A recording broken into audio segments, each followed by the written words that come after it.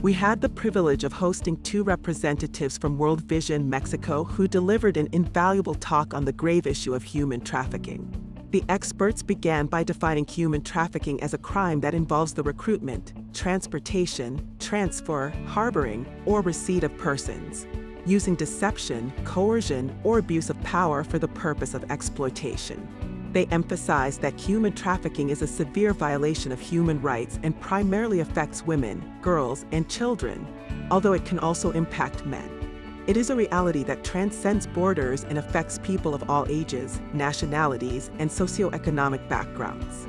The presenters highlighted the different types of exploitation victims of trafficking endure, such as sexual exploitation, forced labor, forced begging, organ removal, and servitude.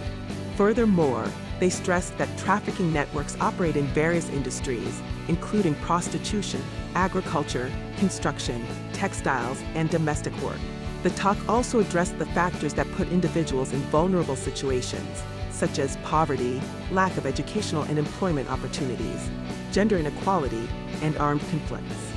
These factors make people more susceptible to falling prey to traffickers. As a vital part of prevention, the World Vision Mexico representatives underscored the need to raise awareness about this issue and to strengthen human rights education from an early age. They also emphasized the importance of enhancing coordination between governmental and non-governmental sectors to address this scourge comprehensively. Additionally, they reminded us that human trafficking is a crime we can actively combat by reporting any suspicions or suspicious activities to the authorities and providing support to victims to help them escape from these exploitative situations. Finally, the speakers encouraged us to be agents of change in our communities, promoting a culture of respect for human rights and tirelessly working towards eradicating human trafficking.